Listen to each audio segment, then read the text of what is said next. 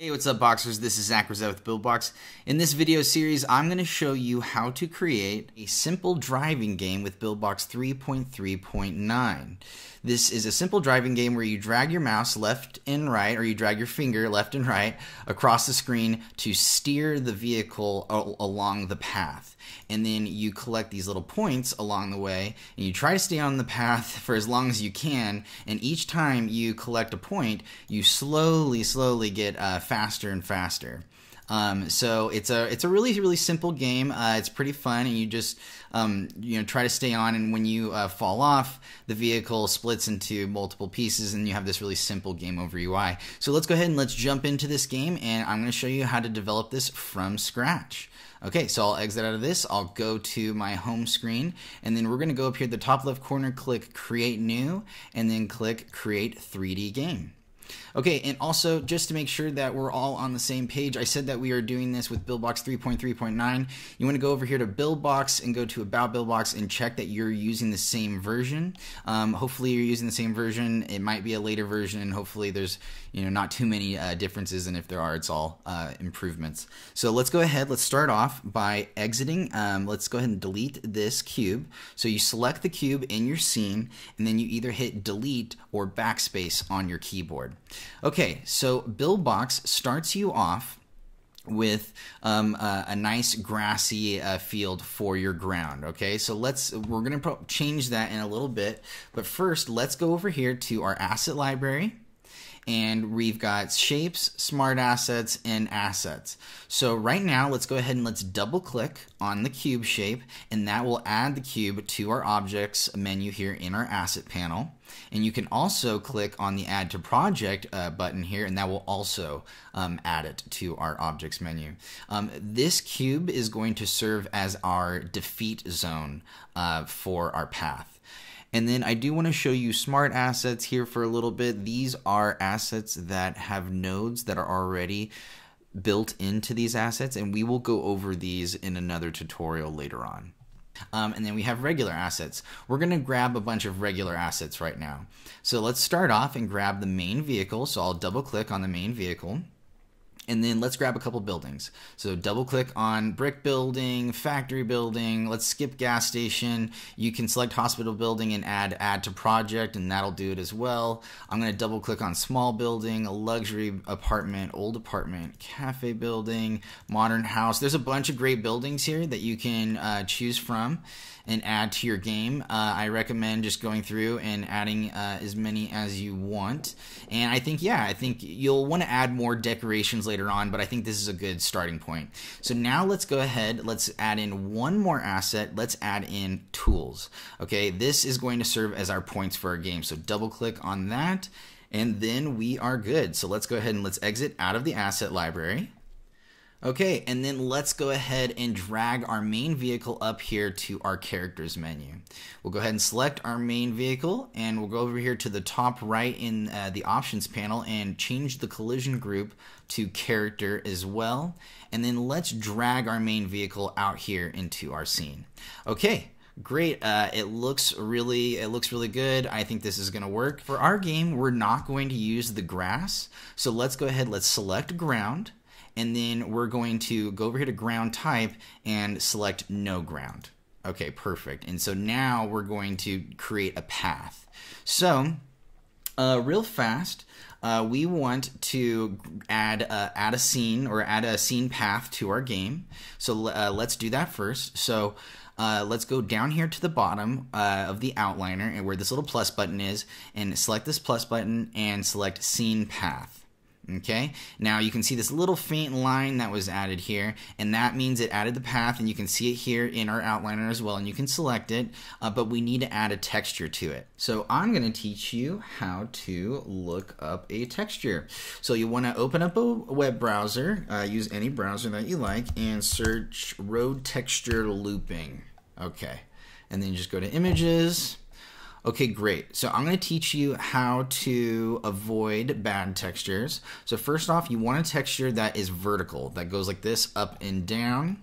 Um, and then you want to avoid textures like this, where um, this one actually it might work, but basically what you don't want is you don't want uneven gaps in between the lines. And sometimes if you have a short gap here and a short gap here and then big gaps in between, it just doesn't work.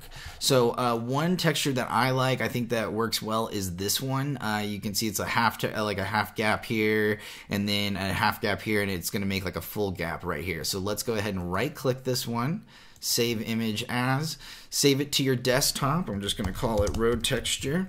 I'll go ahead and include this in a download link in uh, the description of this video as well for you so you don't have to look this up, but I just want to show you how. Okay, cool. So I'll exit out of this and then I will drop that road texture here into my path. Uh, so now we've got this really awesome uh, looking path uh, that we can use. Let's take a look at how the texture loops. So I'm going to grab the end of my scene here. I'm going to grab the blue arrow and I'm going to stretch it out and you see how the gaps stay even and it looks pretty nice. That's kind of what we're looking for. Okay, so let's go ahead and let's also um, let's duplicate uh, this scene and add more of some more path to our game.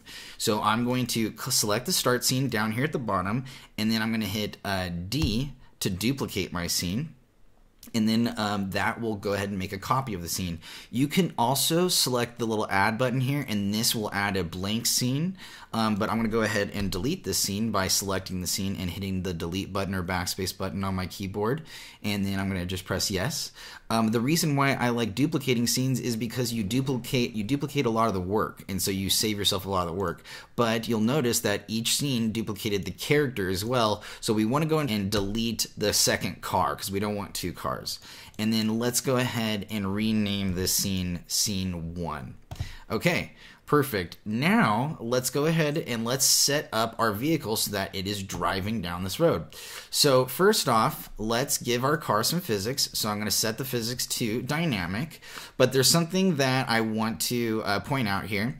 And, uh, and first, let me explain, I guess, that uh, dynamic means that it is going to adhere to the laws of gravity. So that means it is going to fall just like just like it would in, in the normal world. But we have a problem here because the position factor set to zero, so it's actually not going to fall. So I'm going to go ahead and lift this car up just a little bit, and then I'm going to press play, and you can see the car is floating in the air.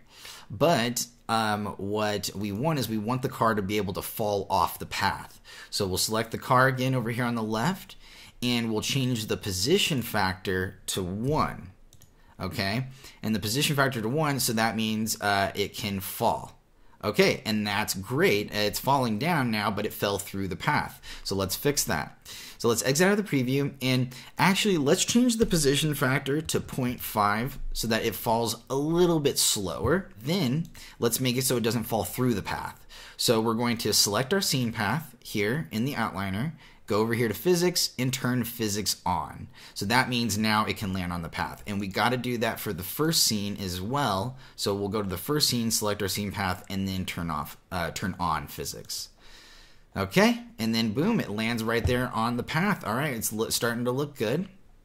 So um, let's go ahead and let's make a few adjustments uh, to our world uh, settings uh, right now. So I'm going to have us go up to the world, 3D world real fast and then I want us to change the gravity to negative 70. Okay, so we're actually going to crank gravity up. Next, uh, let's go ahead and turn fog on. So this is pretty cool. You can go ahead and see that there's a little bit of fog now in the distance, but let's decrease the fog start distance to 2000 instead of 3500. Okay, so 3500 means it's going to start 3500 away from us. 2000 means it's going to be a little bit closer to us and you can see the fog is a little bit more prominent. And you can even you can bring it in even closer. You can do something like 1500 and and really get the fog effect and you'll be able to see that more and more when we add buildings. All right let's exit out of here. Okay next let's get this car moving. So let's double click on our main vehicle here. And then let's go ahead and uh, let's uh, add in some movement nodes here. So go over here to the left and hook up a move node. And so we went over here to movement and let's hook up this move node here to our created output.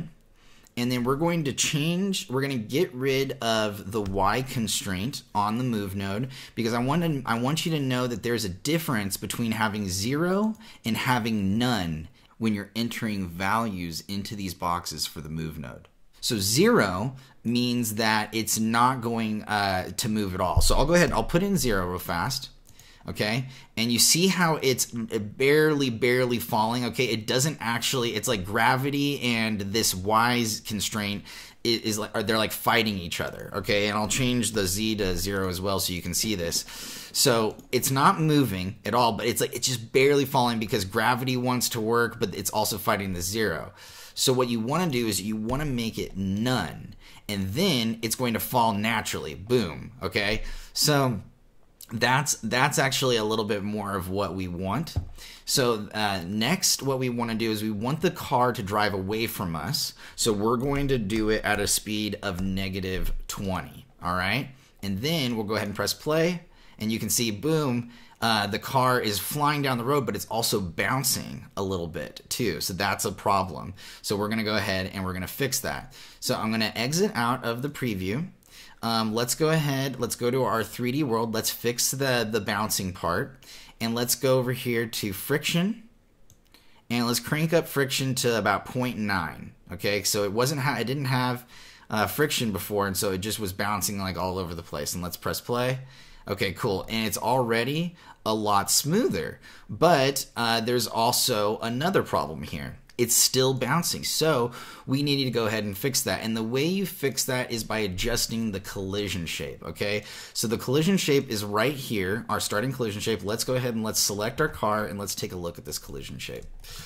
Okay, so the way you look at collision shapes is you turn on collision shape editor and you can see, okay, I've got this cube collision shape here. So what we want to do is we it, this is rubbing, rubbing, rubbing all over the road, and so what we want to do is we want to make it so that this is actually just touching at a single point.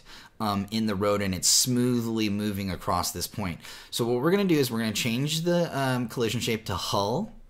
Then we're going to select a sphere and we're going to save that. And let me go ahead and shrink this down here so that you can see this. So this is the mesh manager and we're going to select sphere and then click save. Okay, and then, all right, hey, this already looks pretty good. Uh, gosh, um, oops, let's, I'm gonna hit Command Z to undo. You can also hit Control Z to ever, if you ever need to undo something. I'm gonna go ahead and plant this into the ground, and I wanna see how, if, if, how it's touching. Okay, hey, that looks really good. That is actually perfect. That's exactly what we want. We got really lucky that the collision shape's already set up for us. So let's go ahead and let's get out of the collision shape mode and that's to work. And let's see what our preview looks like now. Ooh, it looks pretty smooth, doesn't it? Yeah, it is gliding uh, across this road nice and easy. Okay, that's what we want to see, but we got a few problems. One is we need to be able to control the character and make the character sw swerve, and then also we need the camera to follow the character. And we're going to go over all of that in part two of this video series. We're going to end the video here, and if you want to see any other tutorials like this, please let us know in the comments below, and I will see you in part two.